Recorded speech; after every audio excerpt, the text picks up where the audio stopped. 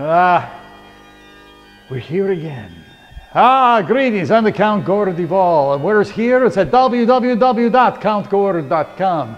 And when you go there, what are you going to find? You're going to find Bela Lugosi in one of his, his more interesting films. It's called One Body Too Many. And if you have two bodies, that's one too many. And you can probably guess what happens when you have that extra body. You don't have to guess. You can go watch it in the laboratory.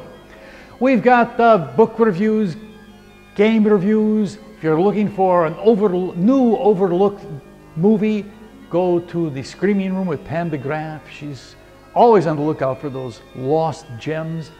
Uh, some of them haven't even been found. Ah, she finds them.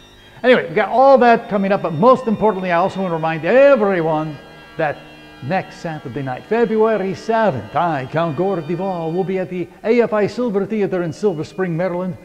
I'll be there with Bela Lugosi and Lon Chaney Jr. Bela will play the Frankenstein monster. Lon Chaney Jr. will play the Wolfman. They're going to meet, and you know what's going to happen?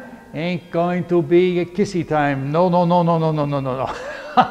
and it's all going to take place on the big screen. So that's the way to see it.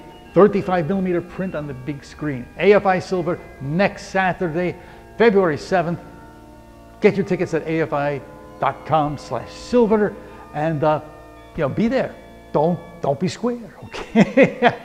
but where you can find out more information and enjoy the web program, however, at www.countgorder.com. Okay, go there right now.